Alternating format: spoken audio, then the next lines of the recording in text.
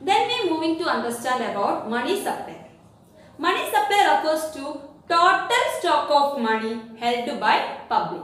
That is total amount of currency or money circulated in a economy at the point of time. By definition, you can understand that money supply is a stock variable.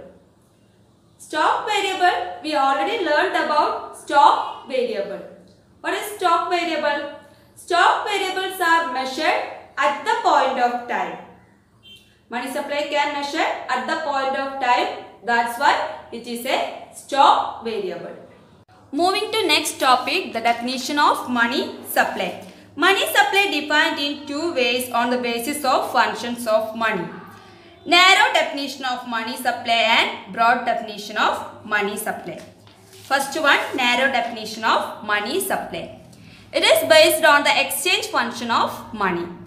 It is based upon high liquidity of money. Liquidity means easiness of conversion of a asset into cash. So most liquid assets that included in narrow money are cash or currencies and demand deposit. Currencies include coins and paper currencies issued by central bank. Then currency is a legal tender money. That is, it is accepted as a means of payment both by government as well as people.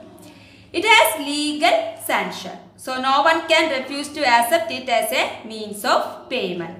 The next assets is demand deposit with bank.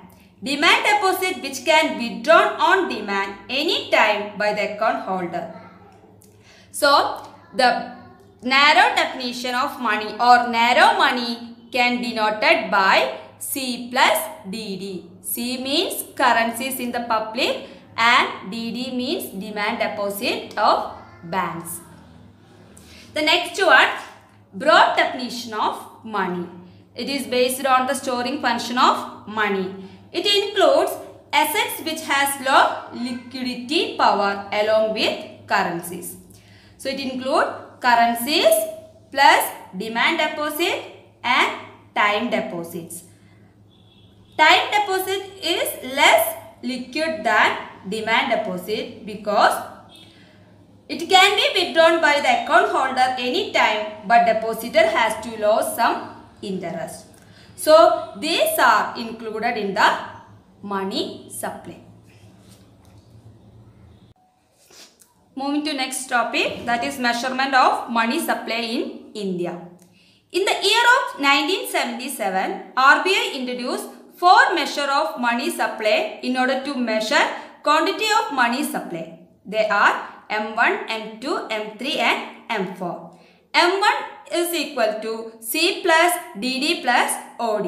C is currency, DD is demand deposit and OD is other deposits that serve as the same function of DD. Then M2 is equal to M1 plus DD with post office. M1 includes C plus DD and plus OD along with DD with post office also included in M2. Then M3 is equal to M1 plus TD with bank. That is TD means time deposit. M1 include C plus DD plus OD plus TD we get M3. Then M4 is equal to M3 plus DD with post office. So these are the four measures of money supply.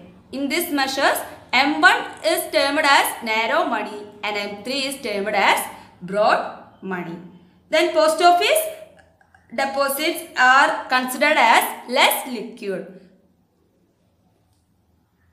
Then M3 is the important measure of money in India because it includes all the money in hand and in bank. So that's all about money supply.